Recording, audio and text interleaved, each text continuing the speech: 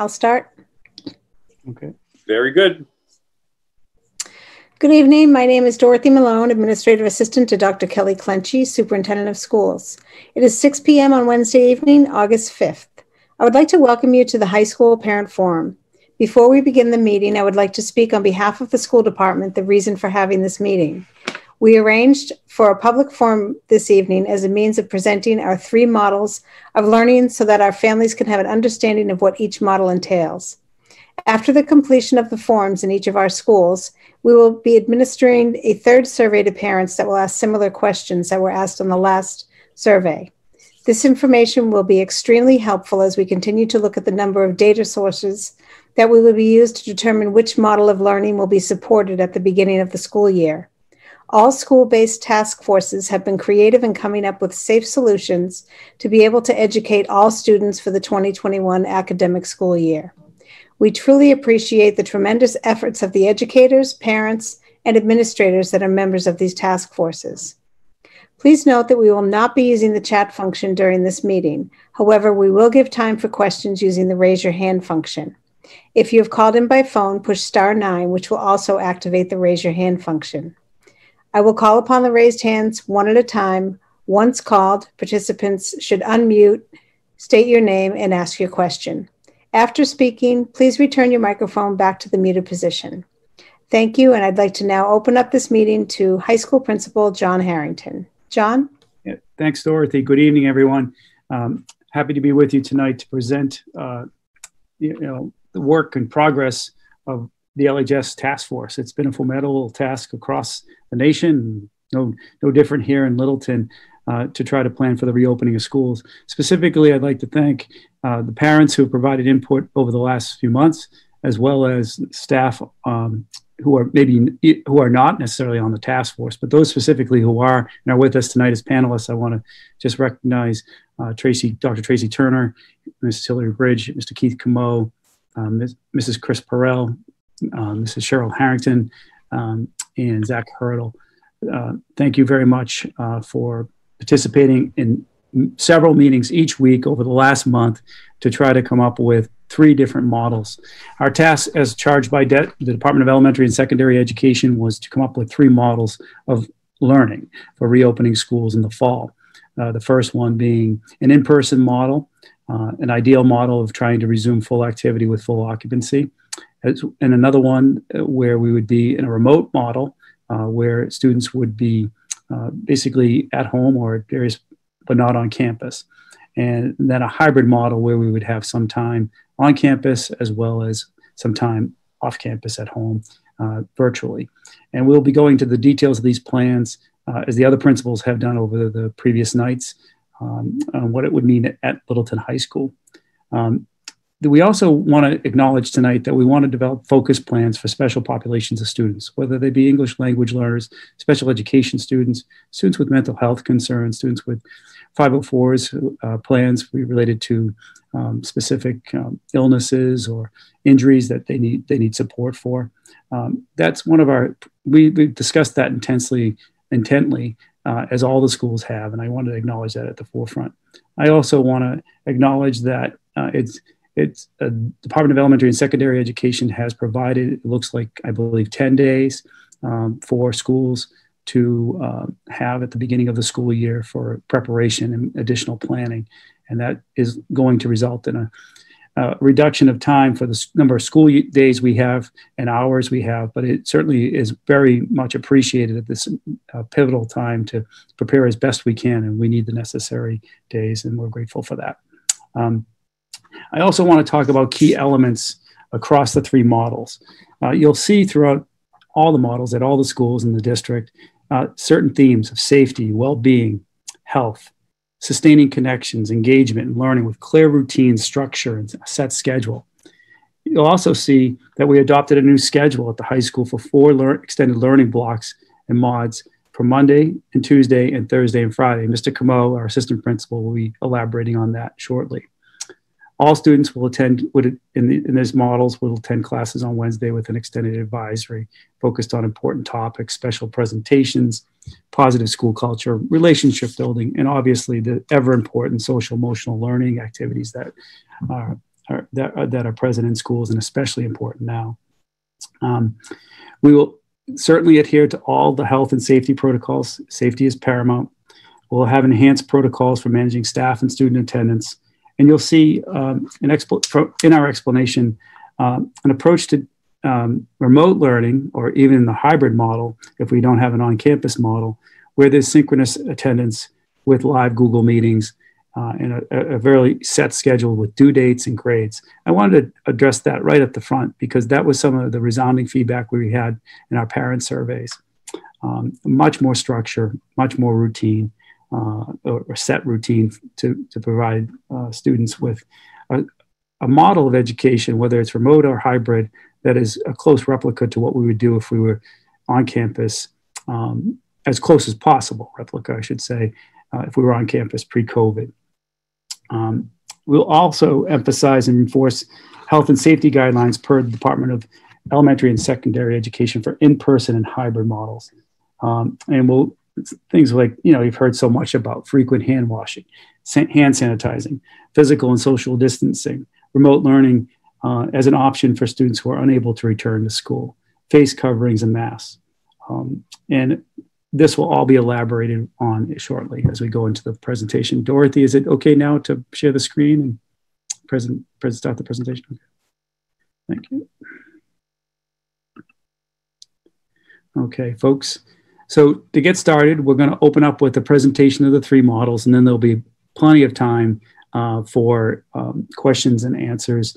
And we'll do our best to answer as many questions as possible, and we'll certainly be taking good notes of the questions that we may need to reply to you at uh, in regards to at a later date. I will be calling on our panelists uh, throughout the presentation, maybe to provide some insight and additional um, information that particularly relates to their areas of expertise. Um, or, you know, they also had shared a lot of uh, insights th- in previous meetings, and I wanted to, you know, I want to uh, bring them forward tonight so, so they can share that with you. The first plan um, is the draft is a draft, and I must emphasize these are all drafts. Uh, the draft plan is for an in-person learning model that we know is particularly challenging at this time with the social distancing requirements of six feet. Uh, with three feet, it's perhaps more possible in our high school campus, um, but it certainly would be a challenge, and we would need to take some additional time to to make that possible with that six foot uh, marker. The draft schedule is there, uh, and Keith, I don't know if you want me to share that right now, and you can just sort of explain that. Sure. Okay. Let's see if this works. Okay. Um, Might want to move that into the middle of the screen, John. Yeah, try it. It's not clicking and dragging. All right. Let's see if I can download it. Um,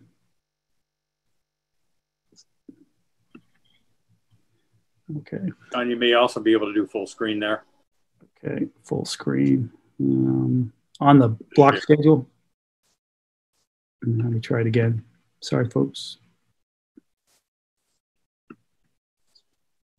Yeah, it's not working for me there, Kurt. Drag it over, John. Yeah, it's not clicking and dragging for some reason. I'll try up top. But um, all right. Well, as you're, if you just pull it back up, so you can see the, the side of it at least. Um, as we were thinking about developing these three plans, for in person and obviously the remote and the hybrid. One of the key ideas that we discussed was having a schedule that was going to be able to translate easily to all three models. Um, our current seven period day um, is one that could provide some difficulty in remote learning, especially. Um, and so, what we tried to do with this new schedule is look at like I said, a schedule that which would translate very nicely and be able to transition very nicely to any one of the three potential models. Um, we are looking also to um, address some of the other concerns we've heard over the past year or so in terms of student feedback and student surveys about academic stress and student workload. Um, and so one way we addressed that was by reducing the amount of mods per day um, on the majority of our of our days. As you'll notice on the schedule provided here, there are um, longer blocks um, for the majority of the day. So our traditional seven period schedule had 49 minute blocks. What we are looking at now is having um, three long blocks of 98 minutes, as well as one um, more traditional block in the middle of the day, the EMOD, uh, which is which would be a 50 minute block. That's the mod where we have our lunch in order to have consistency in terms of schedule for the distribution of lunch and the scheduling of lunch. We looked at having that mod meet every day. Um, so this schedule would be in effect for Monday, Tuesday, Thursday, and Friday um, in any one of our models.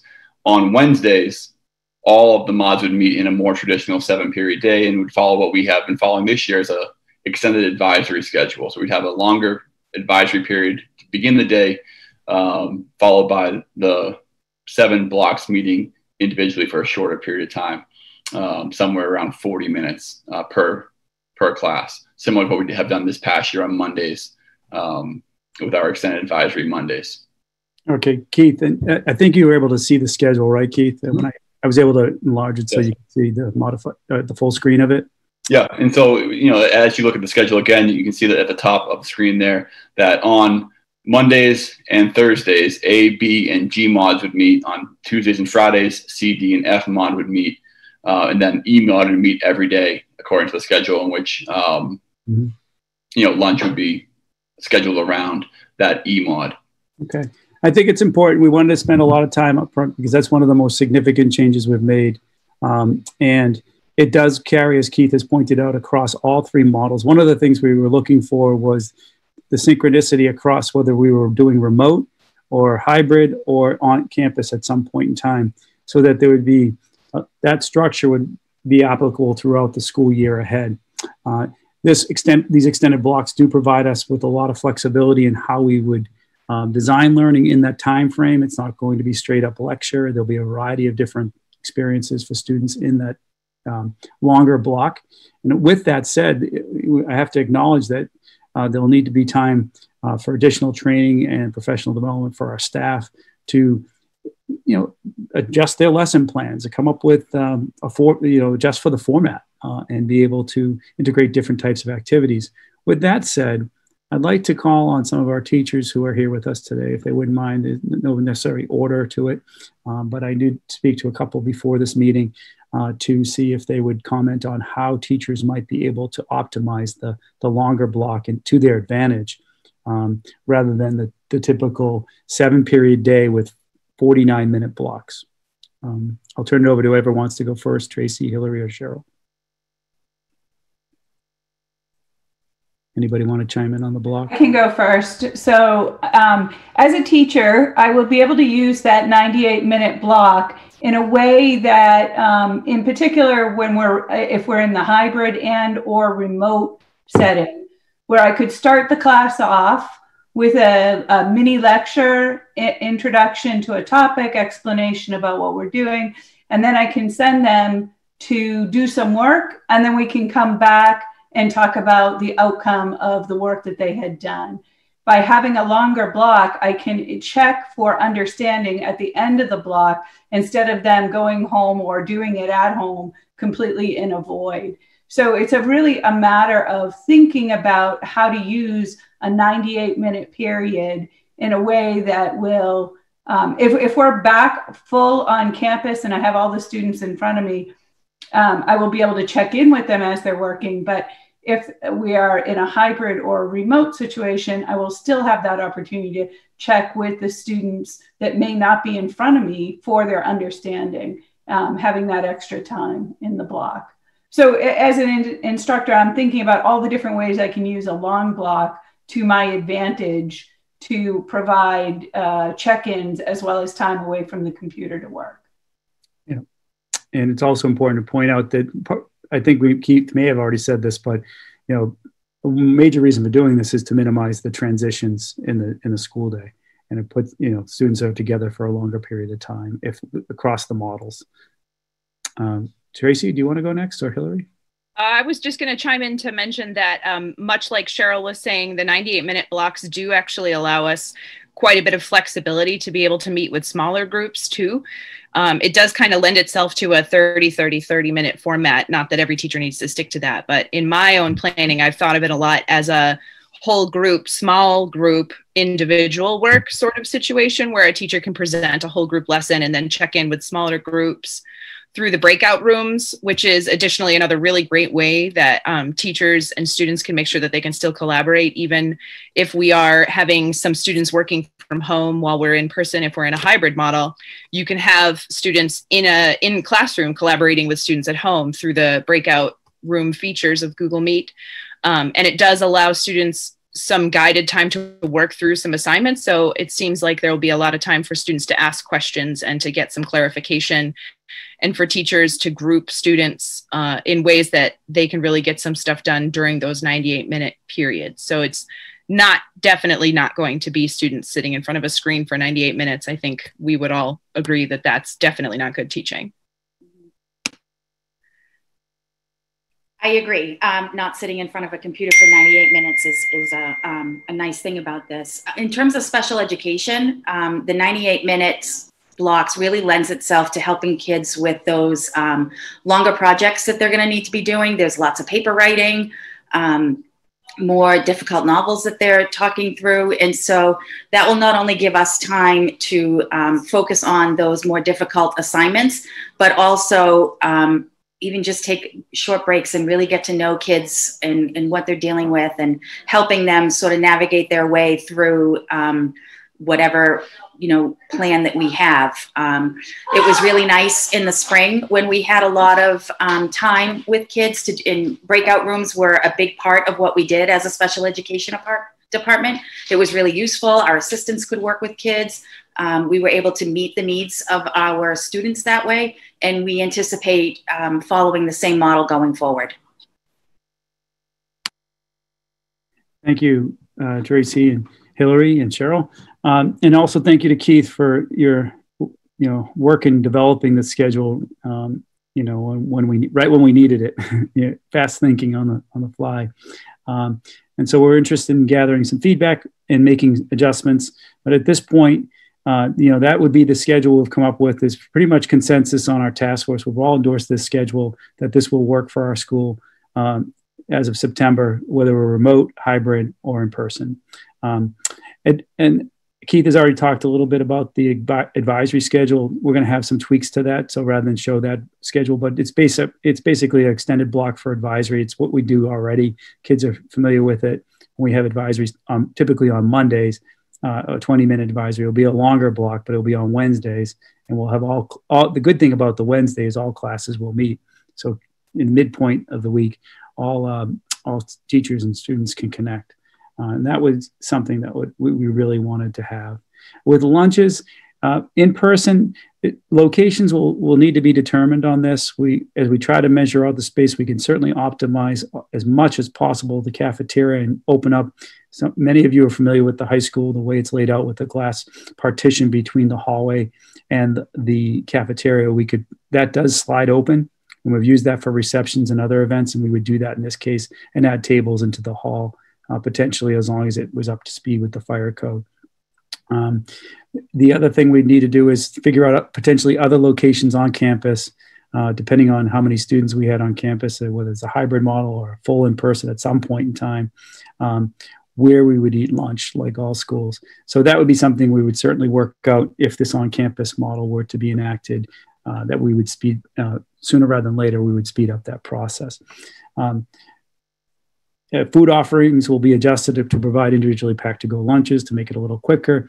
We, we are looking at, and I think there's a meeting tomorrow about this, plexiglass type dividers that can be installed on tables to ensure compliance with safety guidelines, uh, not only just for the cafeteria and for lunch, but also throughout the campus where needed, uh, including the main office area and the counter.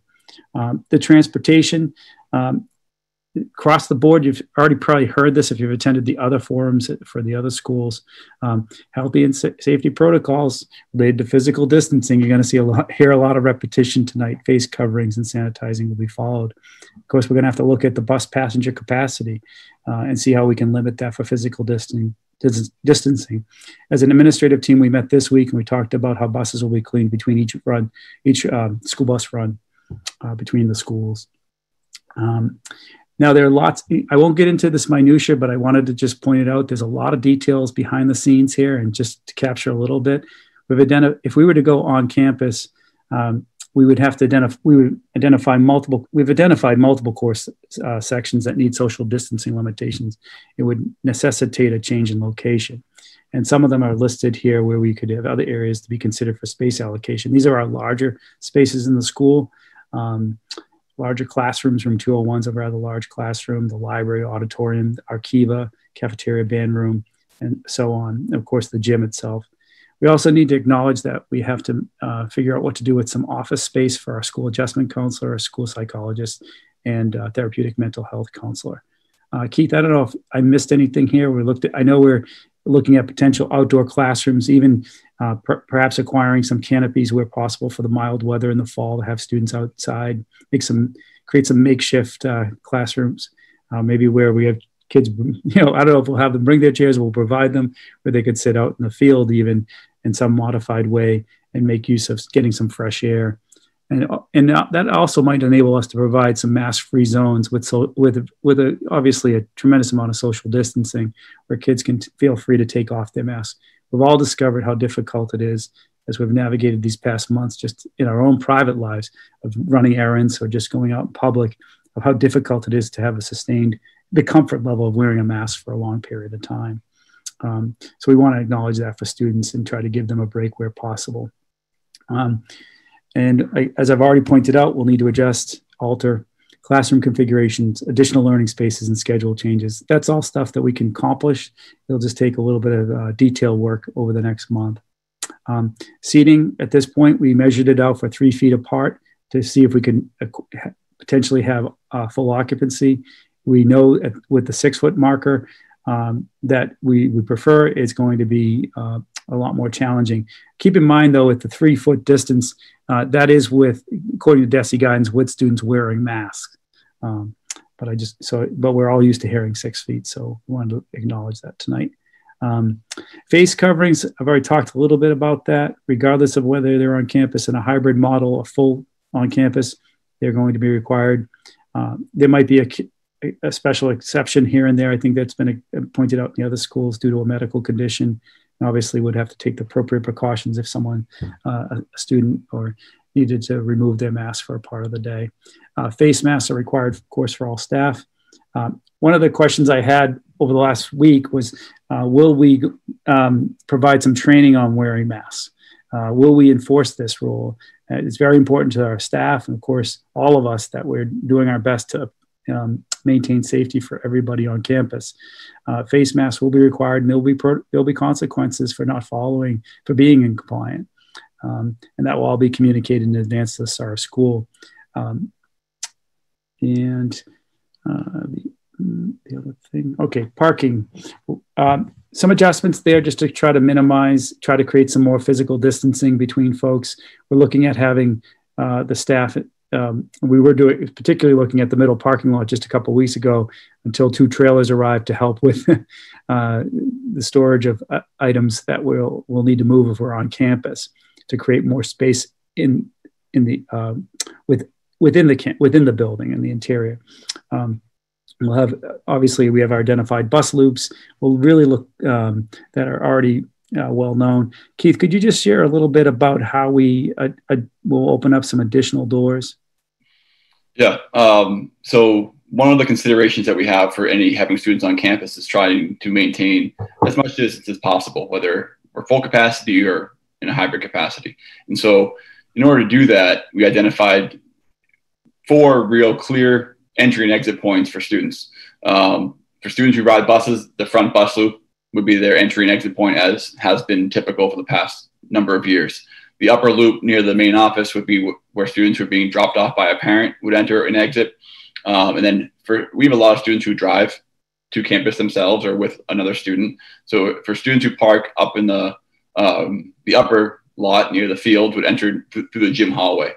Um, this is a, a, slight change from the practice in the past couple of years where they've entered near the cafeteria.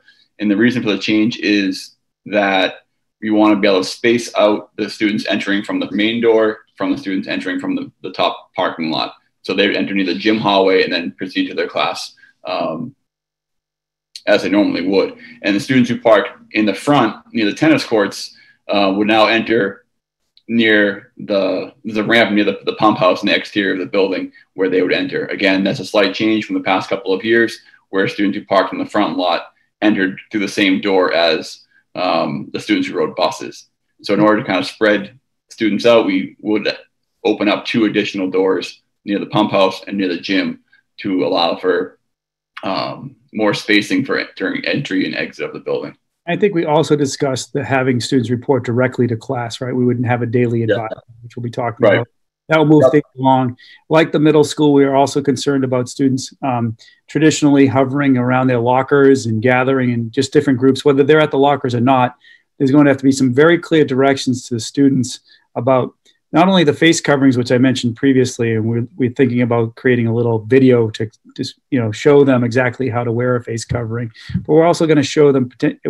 Perhaps we could work with um, LCTV or you know even I think we have some in-house uh, talent here could help us create some educational videos related to you know proper social distancing, how not to gather and uh, congregate in spaces uh, for too long with uh, you know with large groups of kids and just keep it moving. Um, all that's obviously a change. Kids have been hearing lots about this over the last few months, but you know it's when they're back on campus, they might want to fall into their old habits, and understandably so. It's part of the joy of the day is to gather with your friends and and see each other. Uh, but that's going to be something we'll need to be clear on about their transitions through the hallways. Uh, so with that said, there's a little uh, segment here about transitions, hallway traffic, passing time. We, we would, uh, like the other schools, uh, add some signage and markers uh, on our floors and walls uh, with, with reminders about, you know, keep, keeping perhaps to one side of the hall to move quickly to your next space.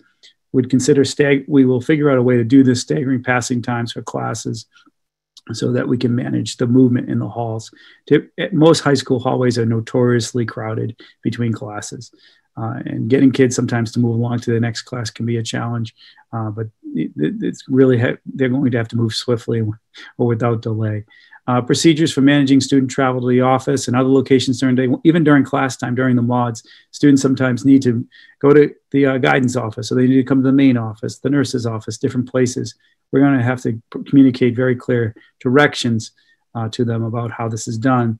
And our teachers would be able to reinforce this as they typically do about school rules on the first day of school about what, how they, what the expectations are. Um, uh, and we'd also you know, communicate in advance of the arrival of school. Um, consideration of limited locker use beginning at the end of the day in directed studies. We're not exactly sure how we want to manage the lockers yet. Um, some schools have prohibited their use for the time being because of the sanitation work that would be required. It's just, you know, we do have, we have to recognize the limitations of our custodial staff. So that will be something we'll update people on. Storage, I already mentioned that we added true trailers to help with the removal of items. Um, you know, I appreciate Bill Mars, our facilities manager's work on this. Uh, this will allow us to create free up space in, in classrooms. Um, gym lockers, general lockers. Again, I, I think that probably is tied into the previous uh, point I made. But cleaning and hygiene, this is something I won't. I'll go over if it's captured in the other plans that I'll present. I won't repeat it, but it, it's worth mentioning uh, because it is it, it is um, essential. We'll provide specific directions to student staff about hand washing and hand sanitizing, and you know how to exercise proper hygiene upon arrival to school, prior to eating, prior to putting on, taking off masks, and prior to dismissal. Obviously, there'll need to be a process for how to use the restrooms and how many are allowed in there at a time. Um, where appropriate and acceptable, students can assist with maintaining cleared shared, uh, cleaning uh, shared surfaces like keyboards and uh, fitness equipment if we get to a point where we can resume use of the gym and uh, workout room.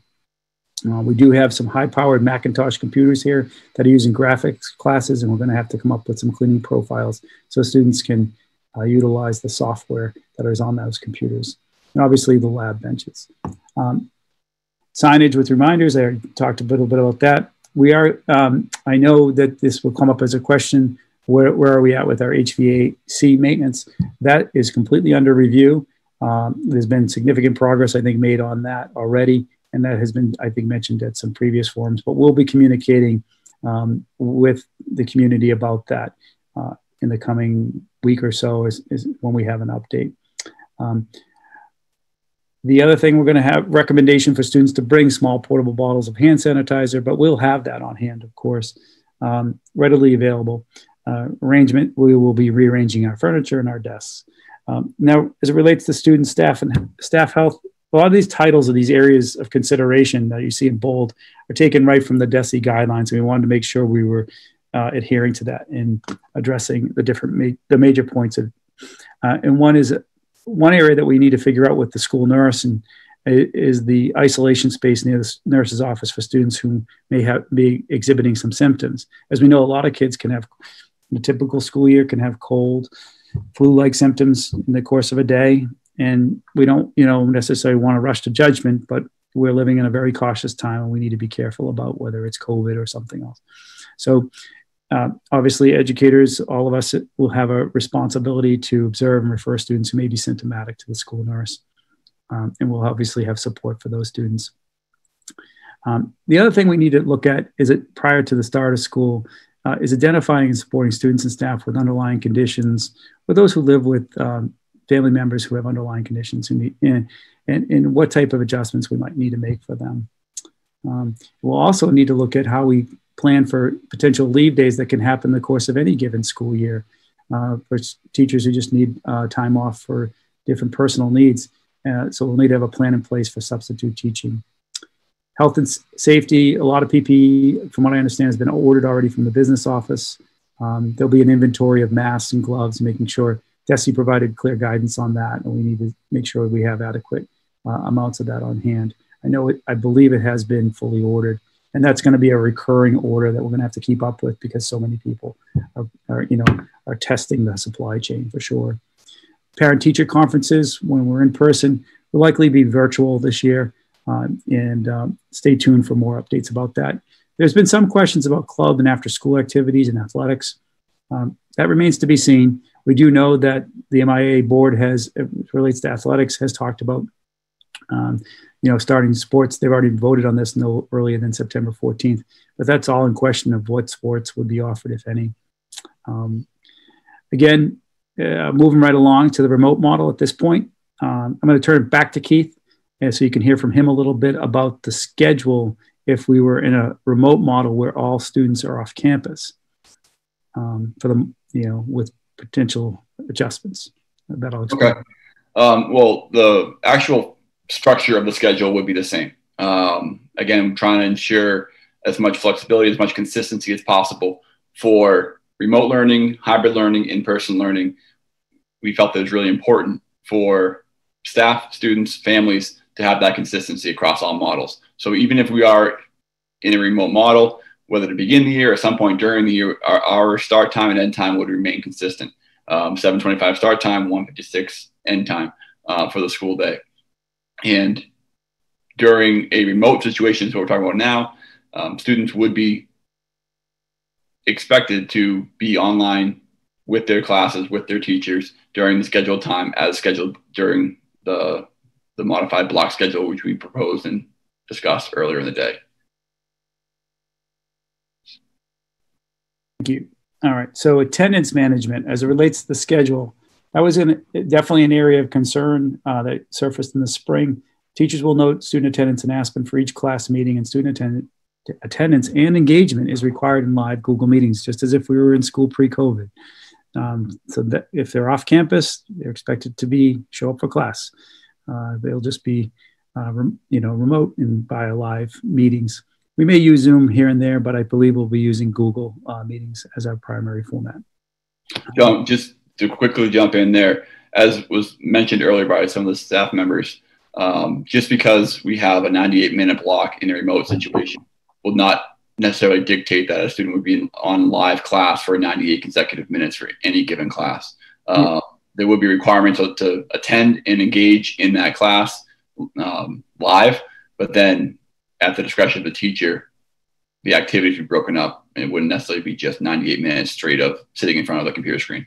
I, pre- I appreciate you saying that, and I think that might be a good, um, you, you know, opportunity for one of our teachers to also chime in about, you know, that when we're getting instruction underway. We've already talked about this in the previous model, but just to reinforce it, if anyone has any additional comments about how we're not going to, we really want to be sensitive to that amount of time on a screen if you're remote. uh, right. Even hybrid model. Does anybody else want to chime in on that just to reinforce that message? Yeah, John. So um, to, to, reiterate again, uh, as an instructor, I don't anticipate, I anticipate being available to my class for the 98 minutes but your student will come on every day and they're at the start of the block with me and to receive uh, maybe it's a short lecture uh, explanation about what the content is um, specific instruction may break them up into small groups may send them off they, they log off.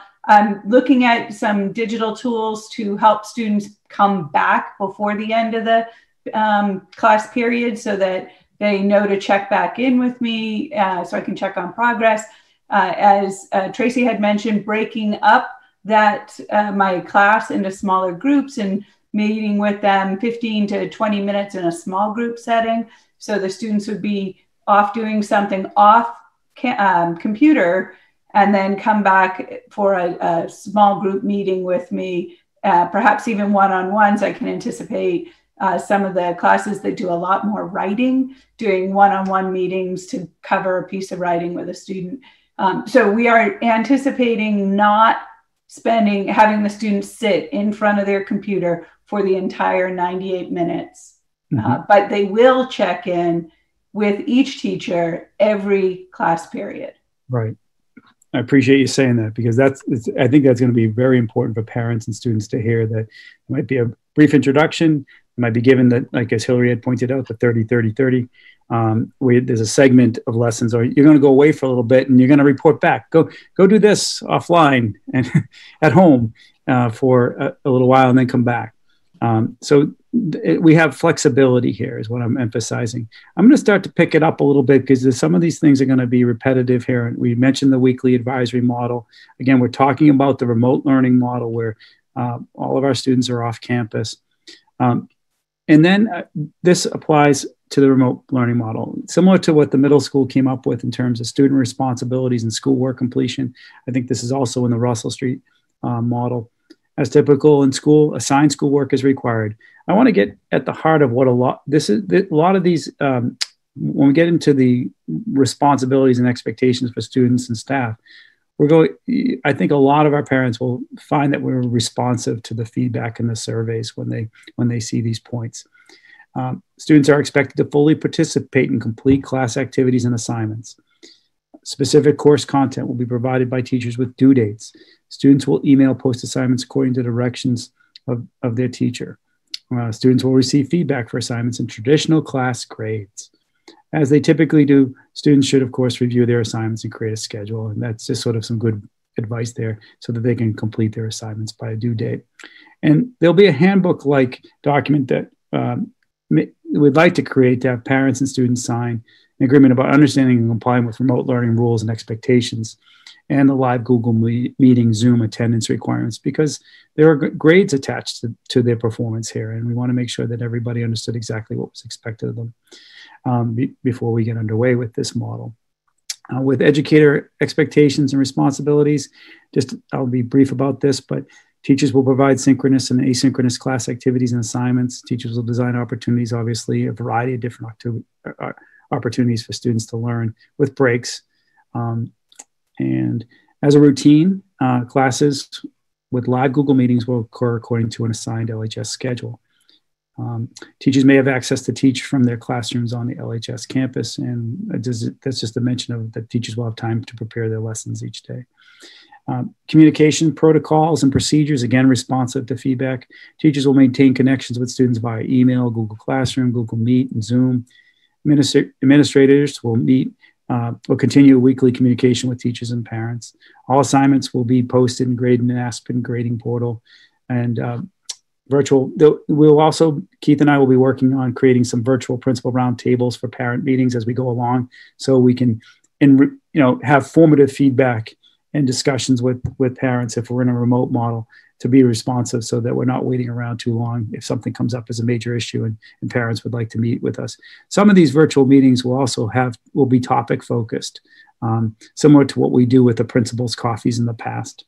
Um, there'll be virtual class meetings and guidance uh, department seminars and presentations. I know a lot of parents of juniors in particular and the incoming senior class will, uh, are concerned about the, the guidance seminars, and they will be provided as well.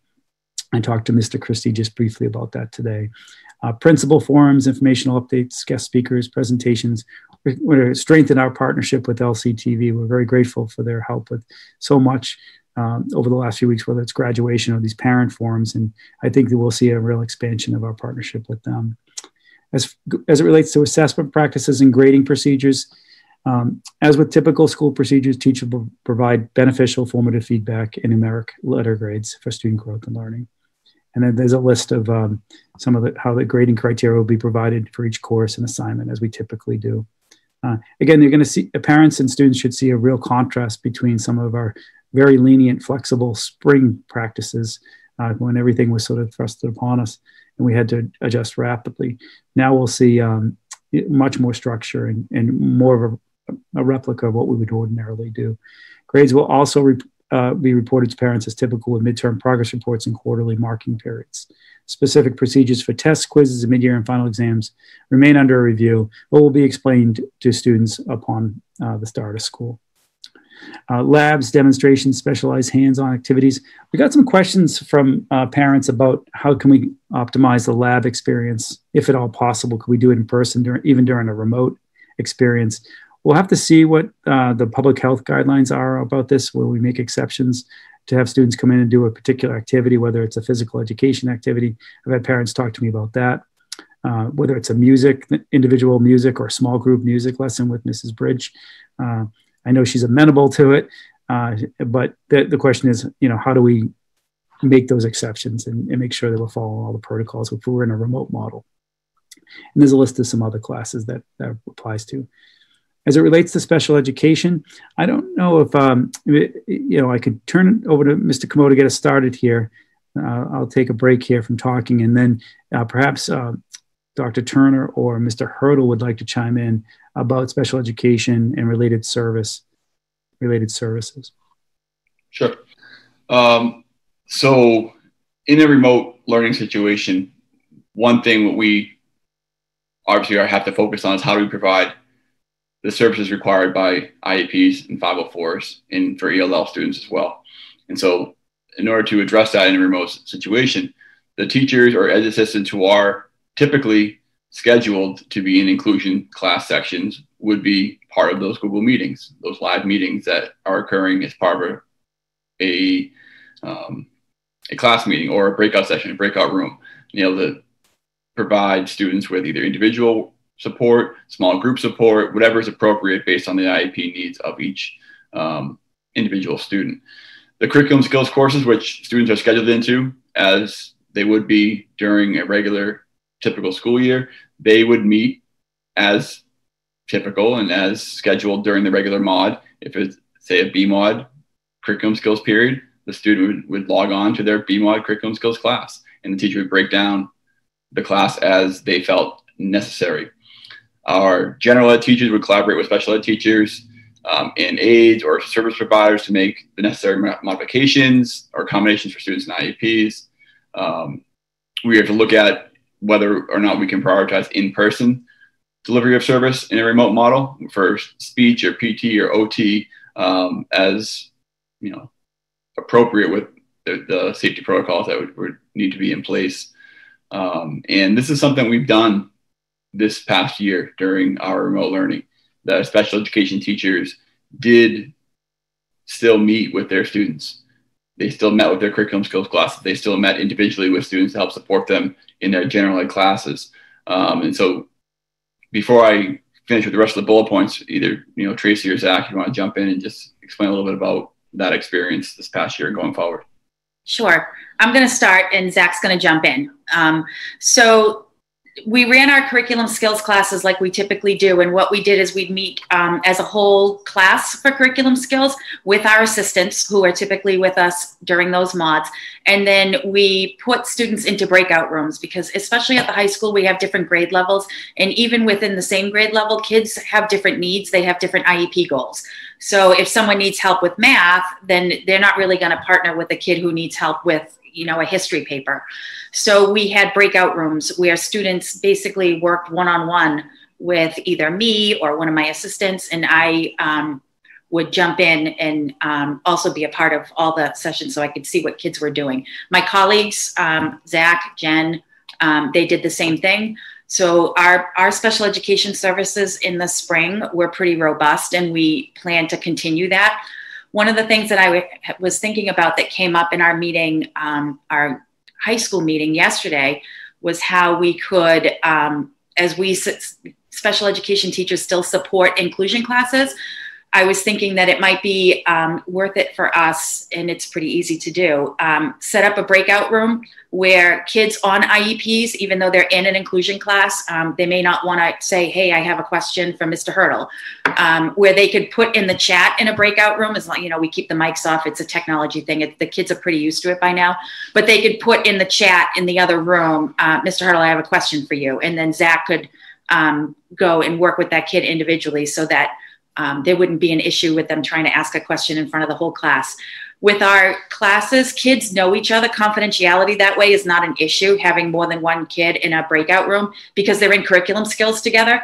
So they know each other. Um, so we could potentially have four or five kids in that breakout room using the chat to ask Zach or Jen whoever questions about what they're working on within the class with their general education teacher. Zach, you want to add anything to that? Yes, uh, thank you, Tracy. Um, Zach Hurdle here, Special Education Department.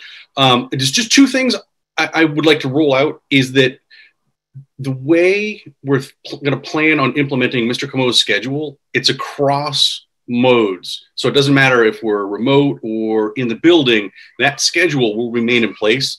So we will be able to see students on IEPs on a regular basis. We'll be able to provide those services that, that are outlined, you know, in their plans.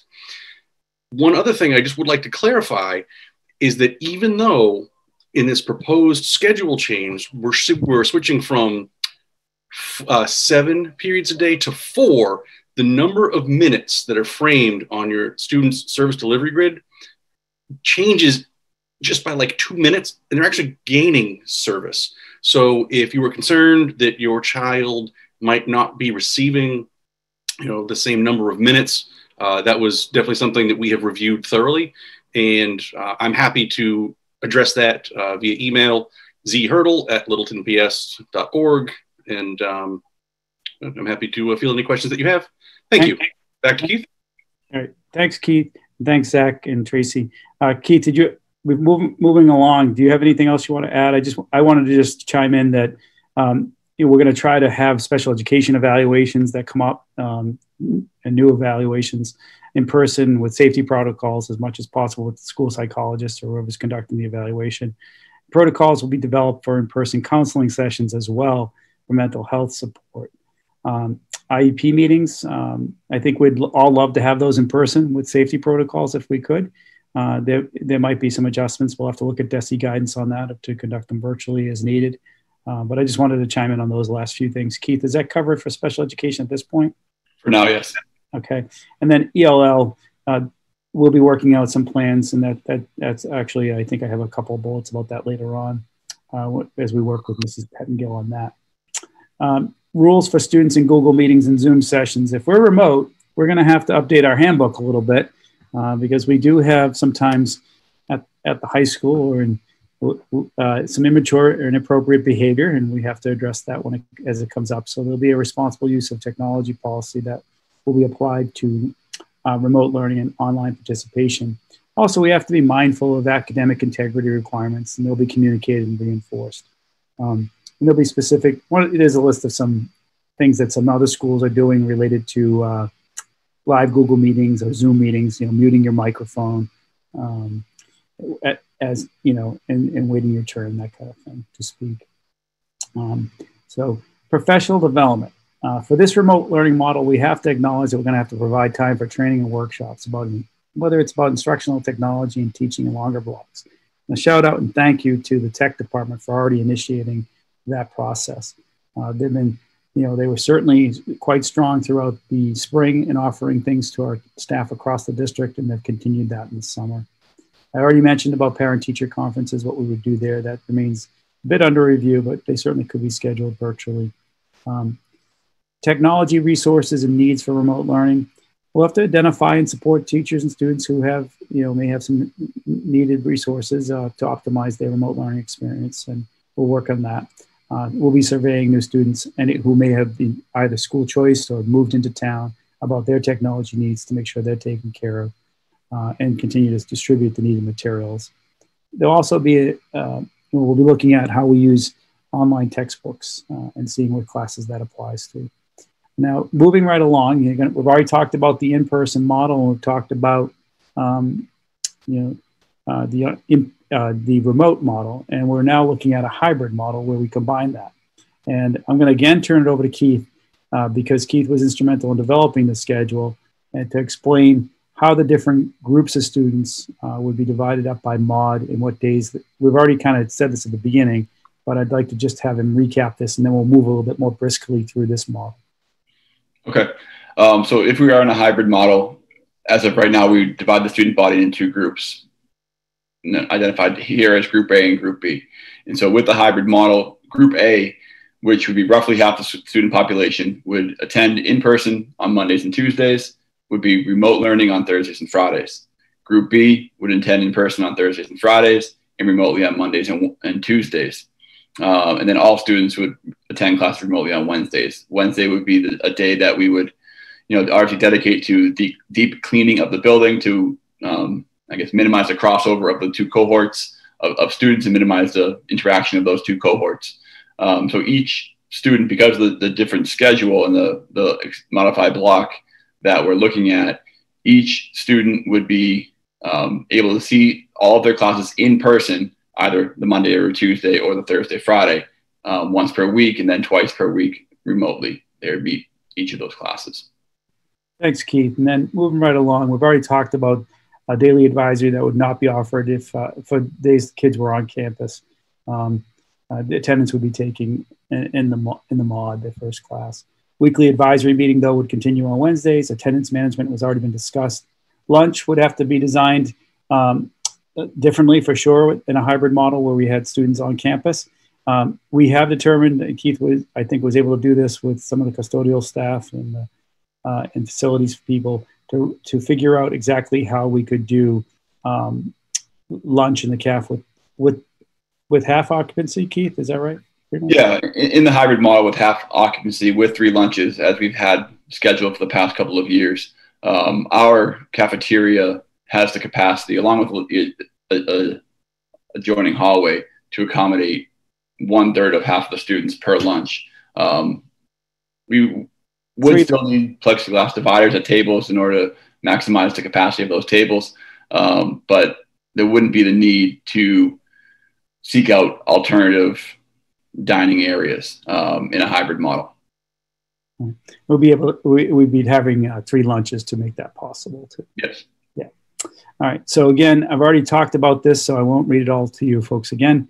Uh, but there are student responsibilities and schoolwork completion in the hybrid model that apply in the remote model. And I wanted to emphasize this here. This was a, for our initial, this will clean up our presentation and some and consolidate it better for future presentations. But we wanted to make sure these were discrete plans that we presented at different times. And then, you know, we brought it all together here tonight uh, for your review. But a lot of the same things that apply in the remote model, of course, here apply in the uh, you know in our hybrid approach uh, in terms of how what what are the expectations of students, particularly when they're off campus. Um, and so you'll see the same areas, same categories that needed to be addressed. And this was from our prior presentation to our district uh, task force. But these categories related to communication protocols that you've already heard about tonight, assessment practices and grading procedures, special education and related service guidance that uh, we went into some uh, detail with, with, with other members of the panelists. So thank you for that. ELL guidance, I just want to go back and touch upon that. Will be provided as typically scheduled uh, when we're on campus. And we'll plan to connect with um, Mrs. Pettengill, who's our expert in this area, to develop specific service delivery to identified students. Um, and we'd like to prioritize in-person service and support where possible. Again, rules for Google Meetings and Zoom sessions. Again, the importance of professional development. Coming back to the parent-teacher conferences, you can see the model is, you see a lot of synchronicity across the models where we're doing the same thing. Uh, room usage and adjustments. Um, Keith, I don't know if you want to just briefly talk about this. I think it's we already covered it, uh, but we yeah. feel, we feel like in a hybrid, right, with half the capacity, half half the students here, roughly, it could be less than that. Uh, that we would have, um, we could keep uh, students in classrooms with six feet of distance, which is different from the full on campus model. Right. Yeah. So the, the thing to note here is that in the previous, you know, conversation about fully on campus, we talked about three feet of distance with masks. In a hybrid situation, we'd be looking at six feet of distance between desks, um, you know, with students wearing face covering still. And so with our typical classroom size, at three feet, we're at 18 students. At six feet, we're at 13 students. And so with our, you know, our current schedule and our, our current um, build for next year, the majority of our classes at half capacity would be able to fit in the room that they're allocated to currently. There's one or two sections that we have to move to a larger space, but it's nothing that um, causes any concern. Okay, great. Thank you, Keith. And again, face coverings, we already covered that, parking, transitions. You'll see this is all similar stuff across the models. The emphasis on cleaning and hygiene, student and staff health, health and safety, PPE considerations. Again, we're not sure exactly what we're going to do yet with the clubs and after school activities. Of course, we want to have them, uh, and we'll try to figure that out. Athletics, still a question um, and I've already talked about the, the, the need and you know, desire for training related to simul- simultaneously teaching students in person remotely in a hybrid model. That's an area of growth for a lot of us, and we'd need to make sure we're providing we're, we're providing the necessary support for staff. Um, and we'll also need to be determining any technology needs to facilitate this hybrid model. Um, and that's all that process is underway. I have a list of questions here um, that some people have sent in, and um, I can get to them. Uh, I was able to cut and paste some of them from emails. I wasn't able to get to all of them, but I did uh, cut and paste a few of them. So before I do that, though, I'm going to stop sharing my screen, if that's okay with you, Dorothy, and turn it over to you. Again, thank you to our panelists. Thank you for all your hard work leading up to tonight's presentation. And um, I think we're ready to go. I think I stopped sharing, right? Hey, you did. Great job, John. Thank you. Okay. Uh, not sure why I'm not seeing hands. Okay. There we go. Okay. Julie Anderson, I'm, I have to promote you to the panel. You can shut your camera off.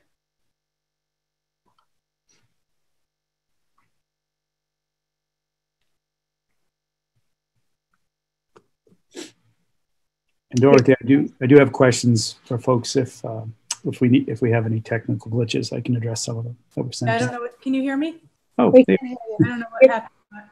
I don't know if I'm on video. Um, you are on video. Just I am. Okay. Yes. Um, I was wondering um, how they're going to group like the students. Are they going to do it alphabetically so that the kids that are home, um, you know, if we have a, a younger sibling, that they could be home together? if uh, if you have a high school student and a younger student, you know, like in another grade, like in middle school or elementary school, if those kids will be um, grouped together, maybe they could do alphabetical that way. That you know, the kids in Russell Street can be home with their older sibling. Right. Hi, Julie. Um, yes, that question came up, and I know that Keith might be able to answer that right off the top of his head. Yeah. So the, the plan right now is to divide students alphabetically.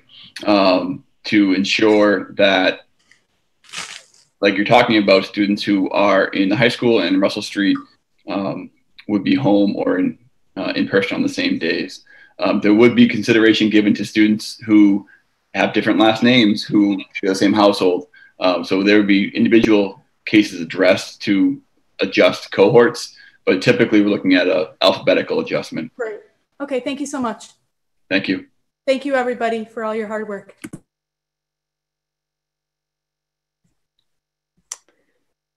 Okay.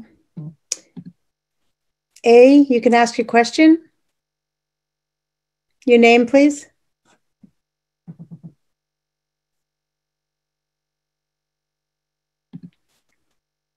And you need to unmute, please. Thank you. Um, this is Anna Vaca. Are you able to hear me? Yes.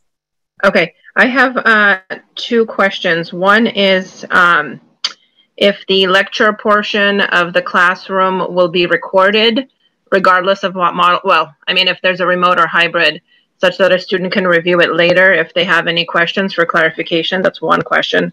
Mm-hmm. And the second question is Will there be a remote only option for parents who opt to stay keep their children home despite, for example, an in-person uh, model? I'll, I'll, take I'll take a, um, shot at that question.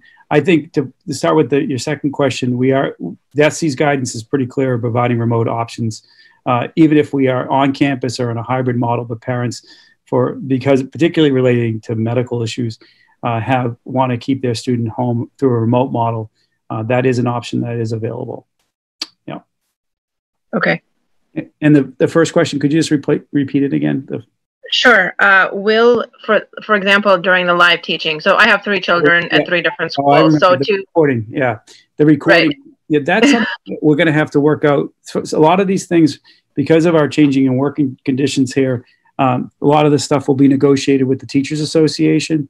Um, but I, I do know that some teachers in the spring did record lessons, particularly uh, lecture portions, were quite comfortable with that that would be something that would we, we would work out in the coming weeks.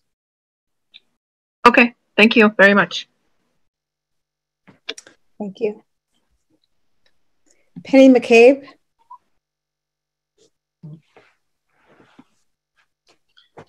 Hi, this is actually James McCabe. Can you hear me? Yes. All right, great. Uh, so just want to reiterate, thank you guys so much for taking the time to do this meeting and for all of the work that has uh, gone into this so far. Uh, we're curious if teachers will be using the same platform and, and using it in consistent ways to assign the classwork, uh, or if it'll be uh, a, a, variant uh, approach like, uh, like it was in the spring, where some people use Zoom and some people use di- different uh, Google Classroom differently, and some people used email, et cetera.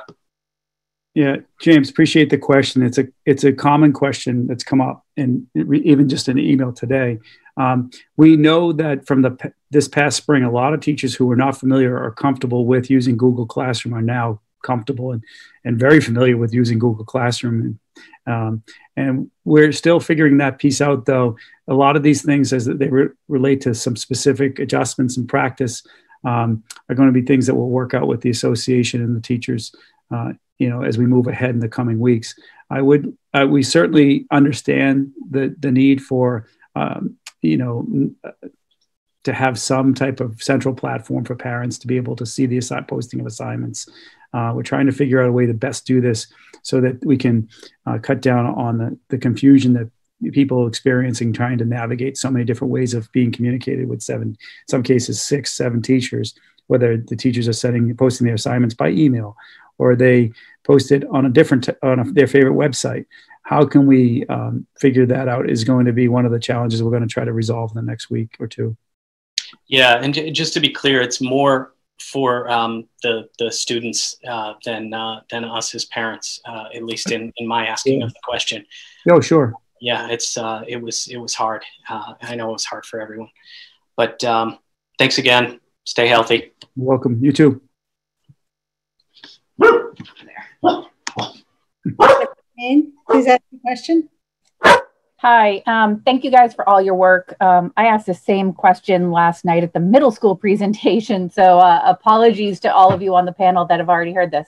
Um, I am thinking that my, my questions are about the hybrid model, um, you know, for consideration. Um, I'm going to have a really low tolerance for, uh, you know, my son having symptoms and me saying, you know what, today's just not the day for you to go to school. You've got a brand new cough or, you know, you've got a, a low grade fever. You're staying home today, even if, you know, it, it, the rest of the day he turns out absolutely fine. He's able to do uh, some work.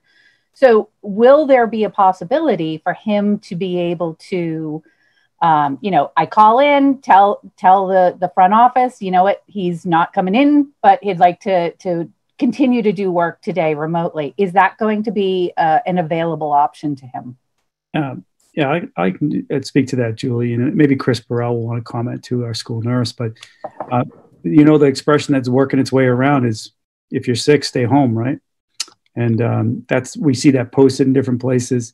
So if he's not feeling well, uh, it, it, we, as a precaution, you know, whether it's just a runny, you know, he's just headache, just typical, you know, illness, you should be home. Is that what you know? That does that get to your question? Well, no, I mean, obviously, if if if he's not feeling well, you know, uh, I'm not going to send him into school. But I guess because my threshold, you know, there are times when, yeah, he wakes up in the morning and he's like, "Oh, I'm just still so tired. I don't feel good." and you just go you know what? Uh, deal with it. You're you're probably fine. Go to school. But my threshold for that is going to be a lot lower. So i'm going to say you know what? No you've got to stay home today. But if we looked at like all the possibilities for for him to be sick it's like he may have 10 15 20 days where he's just borderline and i choose to keep him home.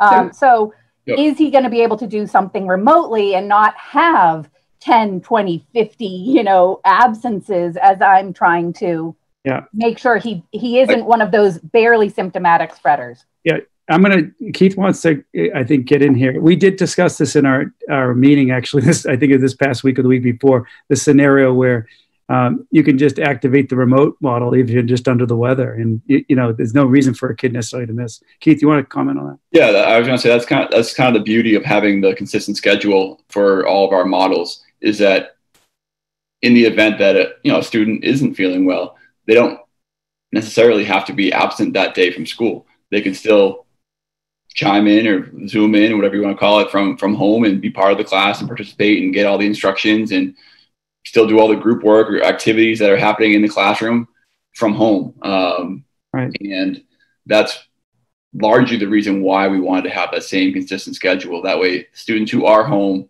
would have no real need to miss anything that's happening during the class period. Appreciate that. And Jennifer, it's a great question because I think it will alleviate a lot of concerns from parents that if you if you just under the weather, you don't feel you don't have it. You know, a lot of kids are dealing with stress just aside from COVID or just you know just something just not right with them that day. They don't necessarily they but they'll engage in class and participate. They just don't want to go to the building they'll that they'll be counted as present. That will not be an absence if they are engaged that day. John, can I just add, as an, a teacher, one of the great things about the hybrid model is that even though I have a group of students at home, they are participating from home. So if a student who is supposed to be in class is now home because they have symptoms that are suspicious, they just join as though they were part of the group that was at home to begin with both of the cohorts will be doing the exact same thing every day, uh, but half will be at home and half will be in the classroom. So yeah, they, it absolutely lends itself to uh, being extra cautious about sending your child to school because they do not need to miss school. As long as they log in they'll be counted as attending the class. Okay. Perfect. Thank you very much. That's really helpful. Um, uh, uh, following along um, just on that topic really quick, if we decided as a family to, you know, let's say you guys all decide hybrid model is the way to go or or whatever, and we decide we want to keep him home, um, is there an option at some point during the course of the year to be able to say, you know what, they've really got this going great. We really would like to get him back into the classroom or vice versa. Um, uh, is there going to be an opportunity to switch what our choice is um, at some point during the year? I do know that this question has come up at the other schools. And one of the things I think they're looking for is some type of commitment. Maybe they might say it as a, a trimester, but uh, for us, it would be a quarter of the year. But you know, we, we, would evaluate each case as it came up. We obviously are the priority, both from the Department of uh, Elementary and Secondary Education, and our priority is to have to maximize in-person education as safely as possible. So we know the benefits of that. If there's any way we can help to facilitate that and expedite that in a quicker way, we'd rather have him on campus. Um, so we'll have we'll have we'll come up with some clear guidance about when that would be possible if you chose remote, and then you had second thoughts about it uh, mid October. You know, when, right when the midterm progress reports go, and you're feeling com- more comfortable, more at ease. Um, we'll we'll uh, we'll we'll address that question thoughtfully and provide a, a very set response for all parents and kids. That's perfect. Thank you guys so much. Cami Bean, your question, please. Hi, can you hear me? Yes. Excellent. Um, and thank you all. I just want to echo all the positive things everyone's been saying. I know this is a really hard transition for all of us. Um, this may be a little out of scope for this, but um, well, actually, one to follow on to the last question. What about teachers? Will they get to work from home remotely? Because obviously, we're, you know, teachers are going to be, we're all in that target age category, right? So concerned about your health, and will you have that option to work remotely? Um, and then secondly, and this is the part that may be out of scope, is is what is the data that we're taking into account when determining if we're going from remote to hybrid or hybrid back to face to face? what's that point when, and and that might be board of health decision or the state decision. Um, and then part of that too is just how is the school tracking and reporting back on any covid cases? Like if we find out that there's a student who's tested positive in my child's class on that day will i find out um, and then what will happen?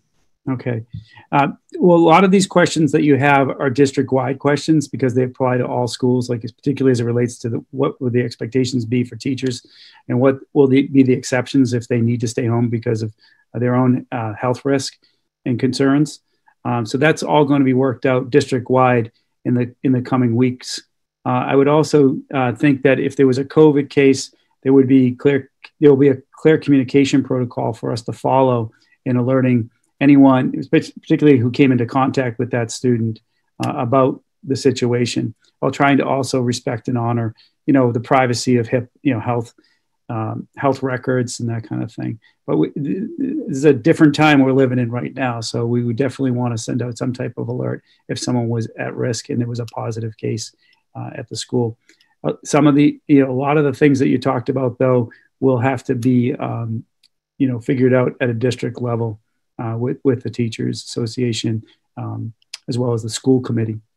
The Board of Health will ultimately uh, advise us, I, I, imagine, as well as medical professionals, on what those trends. All schools have that challenging question uh, to, to, to answer. Is at what point do you you know decide to go from uh, remote to hybrid or back toggle back and forth based on uh, changing data uh, and cases in the community or in the region? That's stuff that will get it. Uh, all that will be addressed with uh, healthcare health professionals.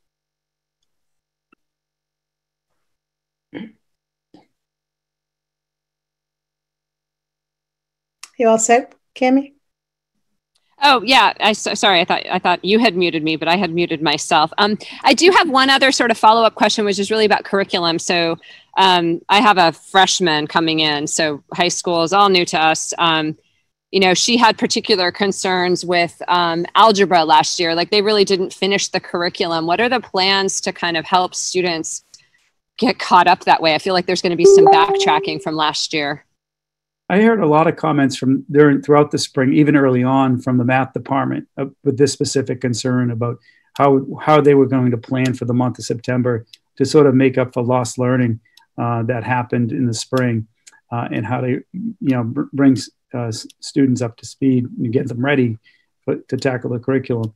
I, I, I would think they'll do a fair amount of pre-assessment right from the get-go, find out where students are at in different places, and try to meet the students where they are to get them where they need to be.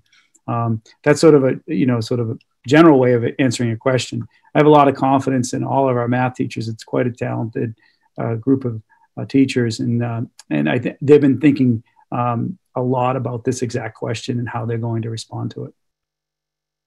Okay, great. So we can assure our students that they'll they'll get caught up and and figure that all out. Thank you. I have no more questions at this point. Appreciate it. I have phone number 3585. Please ask your question. Last four digits. Hi, thank you very much. This is Jackie Farrell. My question is about the facility. Will Littleton High School have exclusive use of the entire building for the year, or are we still renting out space to outside groups while the school year is in progress? Hi, Jackie. I, this is John. I appreciate the question. Um, you know, that's, I, I know exactly where you're coming from. At this point in time, uh, given all the concerns about sanitiz- you know, sanitizing, cleaning the building, um, we don't envision that in the near future. That's going to be something we're going to have to resolve at the district level with the business office, with Mike Deneau. You know Mike pretty well, um, who oversee, you know, helps to um, supervise our theater and schedule bookings and things like that. It also goes, it also relates to the other state guidance about public gatherings and what size you can have um, in, in, for for various um, events. As you know, our auditorium can hold over well over 400 people, maybe over 500 people. Uh, so uh, that's a lot of people, uh, and you can imagine that there'll be a prohibition about that for the time being. And uh, I would expect, if anything's going to change in that area, uh, Jackie, uh, we'll be sure to alert people of what what what the exceptions are and for what type of events, if there were, you know, and, and when, when that's going to come about. Absolutely, we'd love to be able. We all want some sense of normalcy and be able to resume um, regular activities here at the high school, whether it's the Littleton Lyceum coming in to use the event, Indian uh, uses the venue, or Indian Hill. But at, for the time being, I can't see where we're wrestling so much about just how to open school. I can't see that uh, as a, a possibility uh, in, in the near future for now. That's great to hear. Thank you.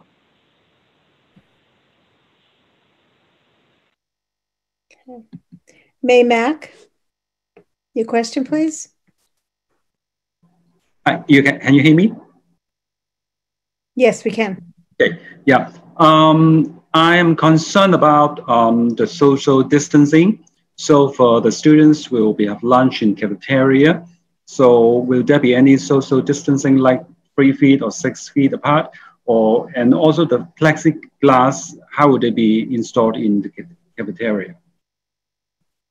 I, will let Mr. Mo talk more about the plexiglass since he was part of an earlier conversation about that and who knows how that would how we're looking at installing it. It hasn't been completely determined yet, May, uh, but we are we will have six foot uh, social distancing uh, for the most part. There might be I don't know if the DESE guidance allows for three feet with um, with masks, but obviously the masks are off while you're eating, so it has to be six feet.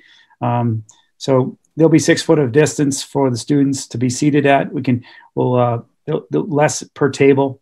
Uh, we'll be looking at the measurements of the table and to see how many we could actually have at, at, at round tables and our rectangular tables. But Keith, you I want to- I can talk that directly, John. Um, so in our cafeteria, we do have right at this point 20 round tables. Um, they're five feet and five feet across. So in order to have more than one student per table, we would need the plexiglass uh, or some sort of divider to allow more than one student per table. We also have long tables, which we wouldn't be able to space out. Um, they're they're long when they're together. They're actually individual tables that we'd have can accommodate 16 more students. Um, the reason why we're looking at using the hallway next to the cafeteria is just for that purpose of spreading spreading kids out to six feet, um, adding capacity to our our cafeteria by utilizing the space right next to it. So there would be um, six feet of distance required um, for use of the cafeteria for all students, and the plexiglass would be installed in order to increase the capacity um, of our tables individually. I, have worked on this with um, our custodial staff to kind of measure out and plan out the configuration of the cafeteria. Okay, thank you. You're welcome. Thanks, Ben. Rob Little, ask your question, please. Yeah, thank you. And I again echo what the other speakers have, or the callers have said about uh, all the hard work you guys are putting into this. Two comments, really, or two questions. If you're in one of the two remote learning modes, um, how do you plan on handling things like science labs, or I think you alluded to this earlier, the you know the computer graphics would take a little bit more high-powered uh, computer uh, computer power through Wi-Fi and whatnot. Can you speak to that a little bit? I can, yeah. So the Department of Ed has issued guidance specific to labs and um, it, it's a supplemental information for courses and laboratory work and how we can go about doing that in a safest way possible. In the remote model, um, you know, it is it's hard to do it if the kids aren't here, right? So uh, we, I'm wondering if there's an allowance we could have for certain kids to come in at certain times, uh, even in a remote model. I don't know what uh, this would be feasible, uh, where they could come in um, and and participate in some type of activity that was really important to do hands-on. There are other classes that would would also benefit from that from time to time in a remote model. In the hybrid model, it's obviously less of an issue. Um, Cheryl Cheryl Harrington's here. She's a, one of our most experienced science teachers in the building. I don't know if she wants to comment on how she would conduct labs uh, remotely. Right. So right now, we uh, for a remote model, we have a couple of options. There are some virtual labs that I used in the spring that the students actually do the technique and they gather data and then they're able to analyze the data. Um, that doesn't cover all the labs that we typically do in the life sciences, and I'm not sure what uh, chemistry has to offer. So uh, the plan is if we are remote to do demonstrations and to have those demonstrations video streamed live or um, do the demonstration. Of course, you know, being science, you want to make sure it comes out right. So do the experiment and record it and then have the students access it um, guiding them along the way to, say, making a hypothesis and um, gathering the data and then analyzing the data so that the thing they'll miss is the hands on manual dexterity skills that we normally try to develop in the students. We will still have, as best we can, replicating the lab experience, but given limitations on equipment, we don't have it. We do some pretty advanced um, biotechnology techniques in the life sciences, and we just don't have enough pieces of equipment for each student to have their own. So we'll have to demonstrate those labs. But any labs that we have enough, say, beakers or pipettes or you know individual, we um, would be able to do the labs hands-on in the hybrid model uh, with students, you know, here in the class. Does that help answer your question?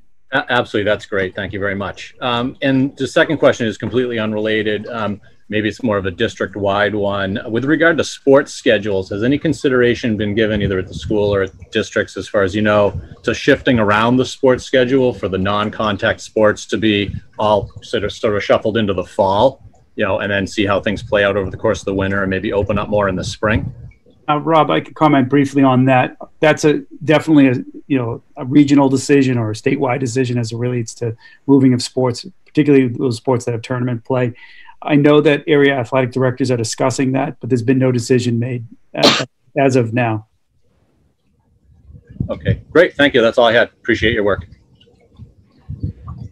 John, it's 722. We have one more question. Should we consider this the last question? Sure. Thanks, Dorothy. Mueller, ask your question, please.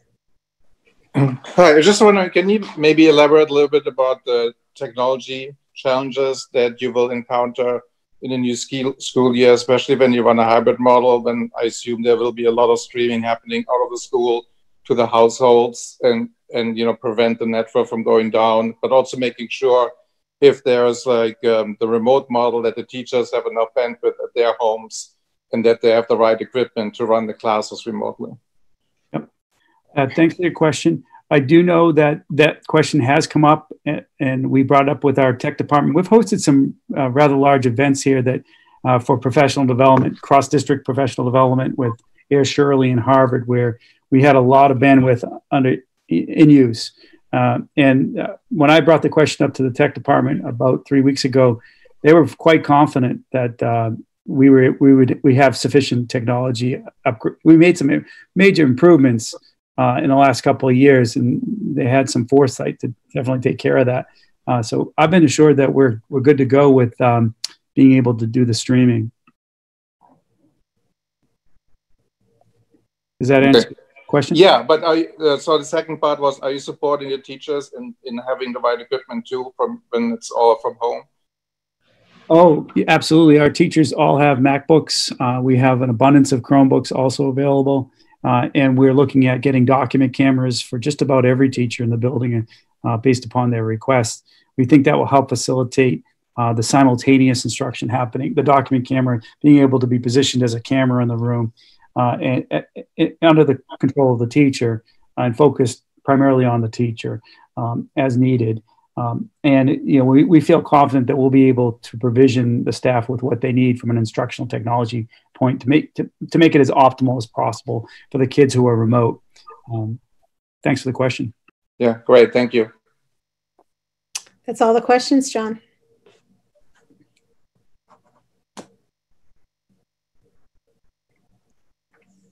You're muted. John, you're muted. Thank you, Dorothy. I'm sorry I was go, uh, going along there. I've done uh, it myself. I appreciate that. Uh, so I just want to um, acknowledge the time and the commitment that people have made, the panelists and the folks at home to, to attend tonight's forum. I'm sure many of them went to the previous ones too. Uh, there's a lot of interest. It's the talk of not only the town, it's the talk of every home. Um, so thank you for your participation in, in this uh, forum tonight. I want to also acknowledge, though, that I did receive emailed questions.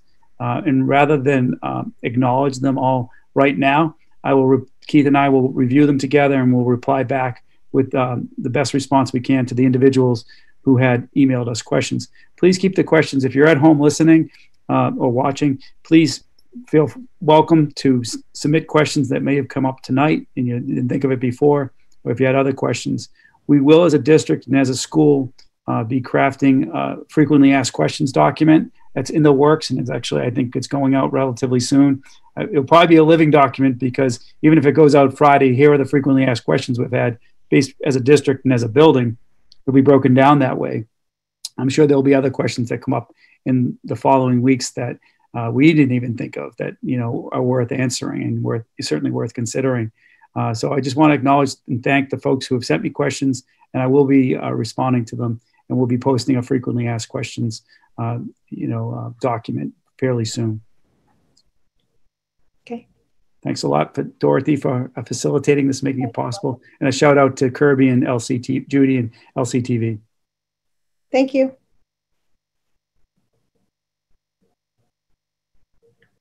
Good night, everyone. Good night. Thanks you. Thank you.